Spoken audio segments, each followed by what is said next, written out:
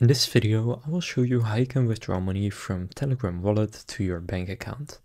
So to do this, first just go and open up the Telegram app and in the search bar at the top, just go and search for wallet and here click on wallet and go and click open.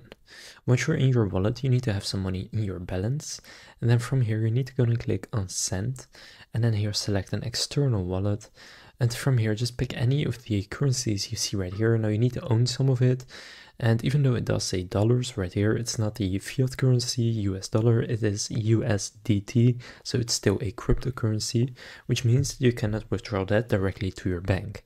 Instead, what you want to do is first withdraw to an exchange, such as Bybit, Coinbase, Kraken, Binance, or any other major exchange, and I'll show you how that works, and then from there you can withdraw to your bank. Now, for example, if I would own some USDT, then I'll click USDT right here, and then you need to paste in a wallet address and select a network. For this example, I will use Bybit. So just go and open up any exchange that you have an account with, or just go and create an account with an exchange, and then go and click on deposit and select deposit crypto. From here, just select the same cryptocurrency that you picked on Telegram wallet, which for me is USDT.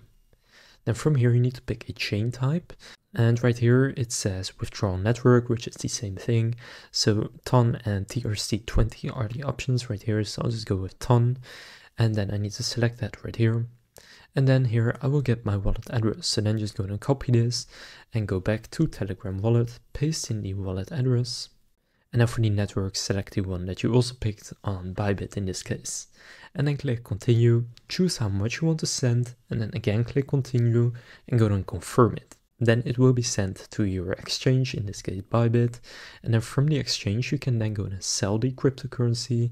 So on Bybit to do that, just go to assets, then go to the account it's in, click on the currency, and then here go and click on sell. Then choose how much you want to sell and just confirm it. And after you have sold, you can then click withdraw and select fiat. And then from here, you can then go and withdraw directly to your bank account. So now you know how to withdraw from Telegram wallet to your bank account. If this video was helpful, please consider leaving a like and subscribing to my channel.